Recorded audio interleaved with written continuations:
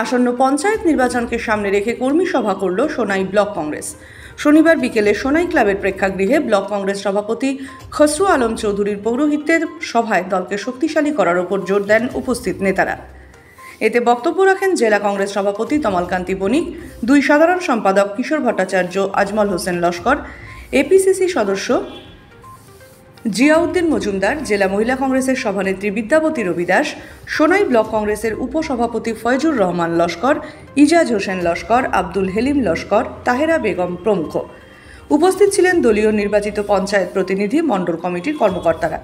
এদিন সভাটি পরিচালনা করেন ব্লক কংগ্রেসের সাধারণ সম্পাদক বাবুল আহমেদ বরভূঁইয়া সভায় জেলা কংগ্রেস সভাপতি তমাল বণিক ও এপিসিসির সদস্য জিয়াউদ্দিন মজুমদারকে ব্লক কংগ্রেসের পক্ষ থেকে সম্মাননা প্রদান করা হয়। Bureau report, Taranga TV Bangla.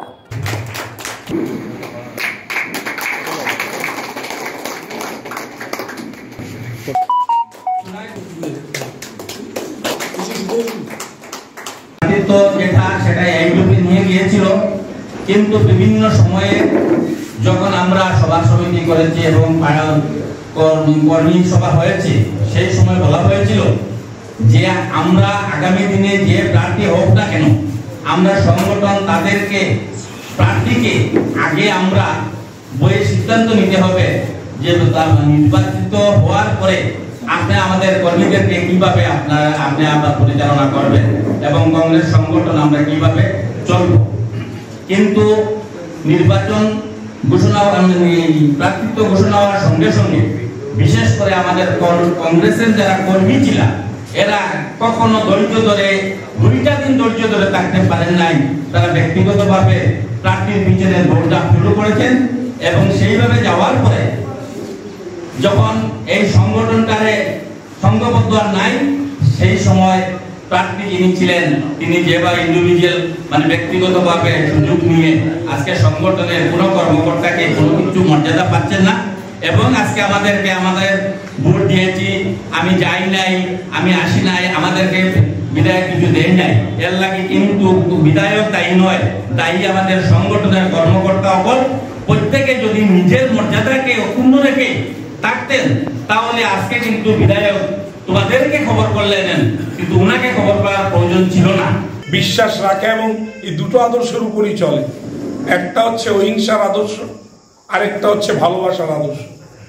কারণ ভালোবাসা দিয়ে যে যাত্রা আজকে আমাদের নেতা রাহুল গান্ধী করছে পুরো ভারতবর্ষে, সেই আলিঙ্গনের সেই ভালোবাসার যে উনি বার্তাটা পুরো ভারতবর্ষে ছড়িয়ে দিচ্ছে তার হয়তো আমরা এমনি মিডিয়াতে দেখতে পাই না, কিন্তু সোশ্যাল মিডিয়াতে আমরা মারাত্মকভাবে তার মানে টাচটা এসে আমাদের শরীরে লাগে। আমরা ফিল করি যে ভারতবর্ষের মানুষ আজকের দিনে এই বিশ্বাসটা রাখে, যার দরুন তার সাথে জড়ো হয়ে লাখো লাখো মানুষ রোজ দিন করে বাড়ছে। এবং প্রত্যেক স্টেটে যেখানে যেখানে যাচ্ছে, প্রত্যেক জায়গায় আমরা দেখতে পাচ্ছি যে মানুষ খালি বেড়ে চলছে। ভারতবর্ষের মানুষ ভালোবাসাকে বিশ্বাস করে হেইট্রেটকে বিশ্বাস করে না। আজকে আমরা অনেক সময় দেখি বা আজকের দিনে শুধু হিন্দু মুসলিমের বিষয় কিন্তু না। আজকের দিনে এই মব লিঞ্চিং হয়েছে। কিছুদিন পূর্বেই সাত আট দিন আগে গুয়াহাটিতে একটা মব লিঞ্চিং ইনসিডেন্ট হয়েছে মোবাইল নাকি নিয়ে নিয়েছিল। পাঁচ ছজন মল- একজন মানুষকে পিটিয়ে মেরে ফেলেছে। একটা মোবাইলের জন্য পিটিয়ে মেরে ফেলেছে। আগে কি হতো? দু চারটে চড় দিত তার পুলিশ এসে তাকে ধরিয়ে দিত বা তারপর মোবাইলটা নিয়ে নিত, সেই শেষ। কিন্তু আজকের দিনের মেন্টালিটি এই মানসিকতা যে প্রত্যেক কলেজ প্রত্যেক স্কুল প্রত্যেক যারা স্টুডেন্ট লেভেলের রয়েছে, তাদের যে ব্রেইন ওয়াশ এই ব্রেইন ওয়াশের যে সিস্টেমটা চলছে, এই সিস্টেমটা এখানে যে সংগঠনের কথা বলা হয়েছে, যে যারা রাজনীতি করে না, কিন্তু তাদেরকে চালায়, সেই দল প্রত্যেকের বাড়ি বাড়ি গিয়ে সেই কাজটা করে দিয়ে আসে।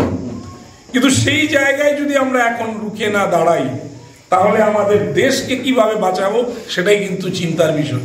আজকের বিষয় নয় যে শুধু কংগ্রেস করব। আজকের বিষয় নয় যে আমরা প্রত্যেক ইলেকশন জিতব। কংগ্রেস কিন্তু সেই ধরনের রাজনীতি করে না এবং সেটাতে বিশ্বাসও রাখে না। রাজনীতি খালি এটা নয় যে আমার দল প্রত্যেকবারই জিতবে। নাও হতে পারে। কিন্তু আমি যেন আমার আদর্শ থেকে সরি না। আমার যে সব করা, আমার দলের যে ভাব, আমরা যেটা চিন্তা করি সেই জায়গা থেকে যেন আমরা সরে দাঁড়াই না। এটা হচ্ছে মূল। অনেক ব্যক্তি দলের বিরুদ্ধে বিরুদ্ধাচরণ করেছে, তারপরেও কংগ্রেসের অনেক ব্যক্তি কংগ্রেসের টিকিট পেয়েছিল। আমি একটি জিপিতে উদাহরণ দিতে চাই, যেমন প্রচুরন জিপিতে এক ব্যক্তি দু হাজার নির্বাচনে প্রত্যক্ষ সভায় এআইউডিএফ জয়েন করেছিল, কিন্তু দু হাজার আঠারো পঞ্চায়েত নির্বাচনে তাকে আবার কংগ্রেস দল থেকে টিকিট দেওয়া হয়েছিল। দলের মধ্যে ভুল ভ্রান্তি কিছু হয়ে থাকে, সেটা সংশোধন করতে হয়। সেটাকে মনের মধ্যে রেখে যদি আমরা এগিয়ে যাই, তাহলে আমাদের ভ্রাতৃত্ববোধ নষ্ট হবে। সেটাকে আমরা কীভাবে সংশোধন করা যায়, আগামী দিনে কীভাবে আমরা দলকে এগিয়ে নিয়ে যেতে হবে? কারণ আমরা সবাই দলের কর্মী এবং আমাদের মধ্যে যদি আমরা আন্তরিক বিভাজন সৃষ্টি করি, তাহলে দলই দুর্বল হবে, আর তাতে এআইউডিএফ দলের লাভ হবে, বিজেপি দলের লাভ হবে। এবং যেহেতু আমরা আমাদের ব্যক্তিত্ব, ব্যক্তিগত স্বার্থ ত্যাগ করে দলের স্বার্থে কাজ করছি, সুতরাং সেই মনোবৃত্তি যেটা আমাদের মনে আছে, সেটাকে সরিয়ে দলকে শক্তিশালী করতে হবে। একশো থেকে সাড়ে চার হাজার ভোটে হেরেছে এবং এই ভোটগুলো দেখা যায় কেজরিওয়ালের দল পেয়েছে। কেজরিওয়াল যদি না থাকতো, তাহলে কিন্তু গুজরাটে কংগ্রেস সরকার হবে তো আমরা বুঝে নিতে পারি, কেন যেহেতু রাজনৈতিক সভা, রাজনৈতিক কর্মীরা প্রেজেন্ট আপনাদেরকে অ্যানালাইসিস করে এটা তো বুঝে নেওয়া দরকার যে কেজরিওয়ালের সরকার কেজরিওয়ালের বিভিন্ন বিজেপির সাথে গোপন আঘাত করে কংগ্রেসকে হারিয়েছে।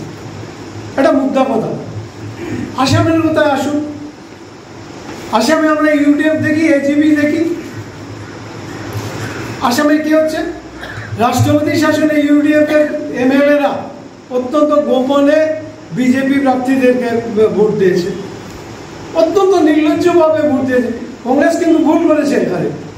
কংগ্রেস গত নির্বাচনে ইউডিএফ এর সাথে সমঝোতা করে কংগ্রেস কিন্তু ভুল করেছে। টুনার সংসার জুয়েলার্সের কথা নিশ্চয়ই মনে আছে আপনাদের? গুণে মানে অত্যাধুনিক রূপসহ উন্নত এবং নির্ভরযোগ্য জুয়েলারি প্রতিষ্ঠান। শিলচর শহরের নরসিংটোলা এনএন দত্ত রোড স্থিত এই সোনার সংসার। আধুনিক ডিজাইনের রকমারি গয়নার সম্ভারে সমৃদ্ধ রয়েছে সোনার সংসার। গয়না তৈরির মজুরিতেও রয়েছে পঞ্চাশ শতাংশ ছাড়। এছাড়া গ্রাহকদের জন্য রয়েছে চমকপ্রদ অফার। সোনার সংসারে এসব বাম্পার অফার লাভ করবার জন্য আজই চলে আসুন শিলচর নরসিংটোলা এনএন দত্ত রোডের সোনার সংসারে। আমাদের যোগাযোগের phone number zero three eight four two two six zero zero eight one অথবা nine three nine five one six three zero eight eight